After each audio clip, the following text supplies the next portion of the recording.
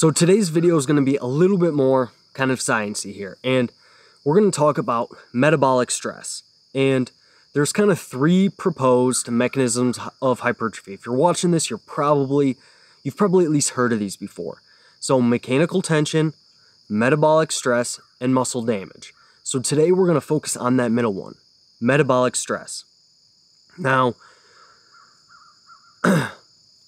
metabolic stress is kind of the that pump and burn feeling that you get with training. It's that accumulation of metabolites. And metabolites are kind of metabolic byproducts of creating ATP, the energy that our, our muscles use for muscle contraction.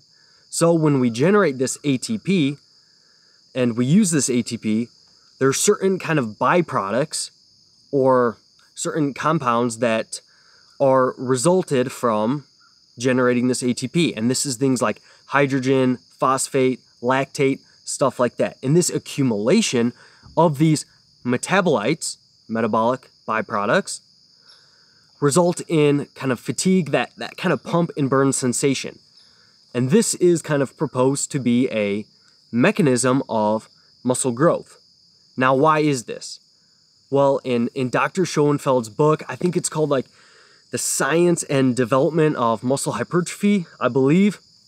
I'm sure if you just Google Schoenfeld hypertrophy book or something like that, it'll pop up. But in his book, he kind of goes over five different mechanisms of metabolic stress or why metabolic stress might result in hypertrophy. And I feel like these aren't talked about a whole lot. I think that the the main one that most people hear of is cellular swelling. So that is a mechanism. So let's go over all five of them. So, one of them is cellular swelling. So this is like the increase in intramuscular hydration in the muscle cell. And this swelling is thought to kind of result in a cascade of kind of anabolic signaling. It can influence like mTOR and AMPK, which can signal muscle protein synthesis and that sort of thing. And it can lead to hypertrophy. And essentially, what the theory behind what potentially happens here is that the the muscle swells and it pushes up against some some structures surrounding the muscle cell and that sort of thing and our body perceives that as a threat. So, that threat response signals a cascade of events that leads to okay, we need to reinforce this area, grow some muscle, that sort of thing. So that's one of them. Another one, an increase in the accumulation of reactive oxygen species. So when I first heard this term, I was like, oh boy, what the heck are we talking about here? And it took me a few ex-phys classes to kind of really get a good idea of what this is. So what is this? Well, it's actually all in the name here. So reactive, oxygen, and species. So these are forms of oxygen, species of oxygen, that are kind of highly reactive. Reactive, so reactive oxygen species. These are highly reactive kind of forms of oxygen. And this is kind of what is thought to be as like kind of like oxidative stress and stuff like that. And when our body has a little bit of this oxidative stress, a little bit, we don't want too much, and we also don't want none at all. If we have a little bit, it can result in a signaling cascade that leads to adaptation. Similar to kind of cellular swelling, we have this threat, so we need to adapt. Well, if we have a little bit of this stress here, we need to have adaptation. It's kind of the reverse how antioxidants, too much of them, to where you have no oxidative stress at all, can kind of blunt the adaptations or the hypertrophic response. So, an increase in reactive oxygen species is one kind of mechanism behind metabolic stress. Another mechanism, number three, is an increase in fiber recruitment. And this isn't necessarily specific to metabolic stress type training because we can get this with just lifting heavier weights. But when we have this accumulation of metabolites, we start recruiting more and more kind of higher threshold motor units. So basically, the way that our body works is that, or at least the way we think it works, is we start recruiting motor units from small to large. So we'll start out a, a, uh, a, set if we're plenty far from failure and say we're doing a set of 15, we would start recruiting kind of slower twitch fibers and smaller motor units and stuff like that first.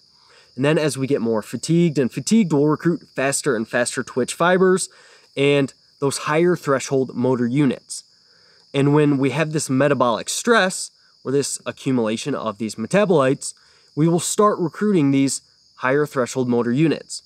So this is some of the rationale behind with low loads. As long as you train closer to failure, you accumulate some of these metabolites, you can still recruit all of your muscle fibers and see pretty good growth. So that's kind of the third mechanism there. And number four is a modulation of myokines. I don't know if I'm pronouncing that right. Probably not. But my understanding of what these are are basically substances that are produced by the muscle cell that can influence different systemic processes and different signaling and stuff like that. So the the muscle cell itself will produce these different myokines and I believe that these are certain types of proteins and stuff like that that can have various effects in the body that can lead to muscle growth. All right, so that's kind of the big picture overview. So that's number 4, and the fifth thing for why metabolic stress may lead to muscle growth is an increase in acute anabolic hormones. So, particular, we see an increase in growth hormone and IGF-1. And while acute hormone responses don't generally necessarily correlate that great with increases in muscle size, like it was once thought that hey, you should do the the type of lifting that increases your testosterone the most because it will result in more muscle. These acute changes actually seem to have somewhat trivial effects. But this one is still kind of worth mentioning because these these differences in growth hormone and IGF-1 are between like 90 and 250 fold, which is a substantial increase there. Now, whether these acute effects really have much of an influence on hypertrophy, it's hard to say. But considering they are such substantial increases, there could be something there. So, the five mechanisms of why metabolic stress may be an independent driver of hypertrophy. You get those increases in acute anabolic hormones, you have the myokine production, you have that increased fiber recruitment of those higher threshold motor units, you get the increases in cellular swelling, and then you get a greater accumulation of reactive oxygen species. And whether metabolic stress is how large of a driver of hypertrophy it is, it's it's hard to say. But I do think that there's something to it. And I think that it's it makes the most sense to hedge your bets and do some work to make sure you're at least getting a pump every once in a while.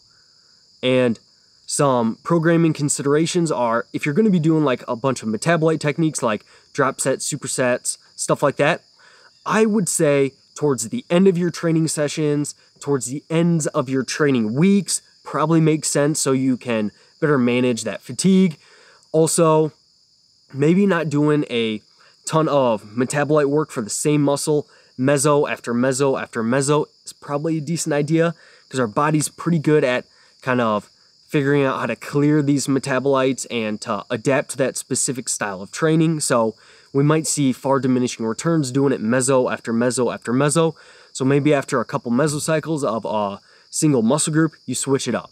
So maybe you do biceps and triceps for a mesocycle or two. Okay, now let's do chest and back or something like that, switching it up. All right, so I think it makes sense to kind of hedge your bets there. So I hope you enjoyed this video. Q&A next week. Let me know if you have any questions and I will see you next Sunday.